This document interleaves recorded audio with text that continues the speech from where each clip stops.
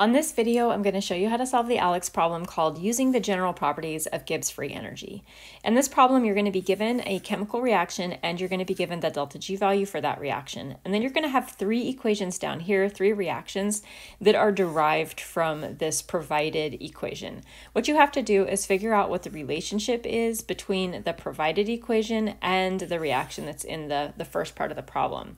It could be turned around backwards or it could uh, have the stoichiometric geometric coefficients changed, or it could be a combination of both. In this first one that we're being asked about, it looks like all that has happened here is the chemical reaction has been turned around. So we have 2Fe2O3 on the left side instead of the right, and our reactants on the right side uh, instead of on the left.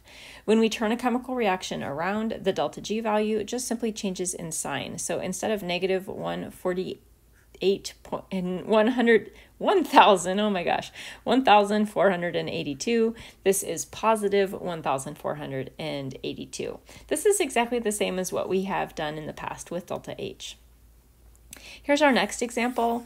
Um, we can see in this situation, the reactants are still the reactants and the product is still the product.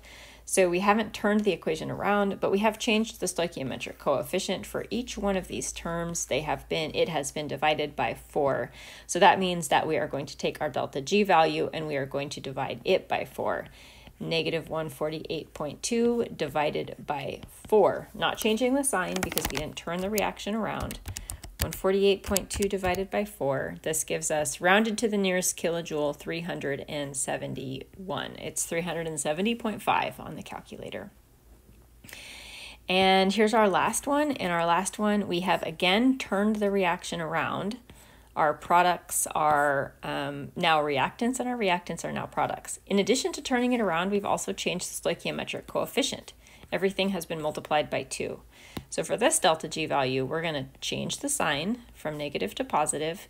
And since we multiplied all the stoichiometric coefficients by 2, we're going to do the same thing to our value of delta G. We'll multiply it by 2 as well.